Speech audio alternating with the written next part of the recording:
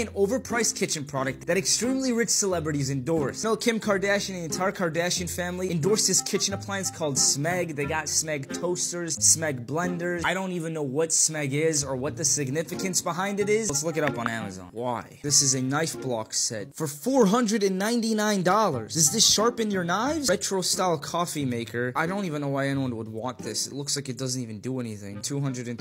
Smeg blender, $300. There's only one photo, there's literally one button. That's it. Why would this cost $300? It's not like it has a million buttons and it's gonna make ice cream for you. It looks very good and works even better. Well, it's a blender. It does what a blender probably does. Reviews all seem fake. It's a great blender. Like, bought it. I'll see you guys in a few days.